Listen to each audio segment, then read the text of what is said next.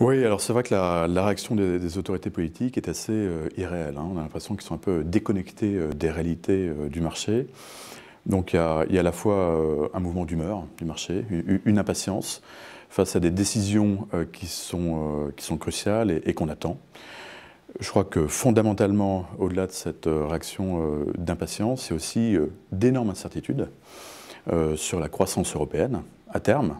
On sait que la pression des marchés va se manifester par des plans d'austérité euh, budgétaire qui vont de toute façon affecter les perspectives de croissance qu'on avait sur la zone euro euh, pour cette année, mais, au-delà. Donc là, on rentre véritablement sur une problématique de moyen et de long terme. Et c'est ce que les marchés sont en train de réviser aujourd'hui.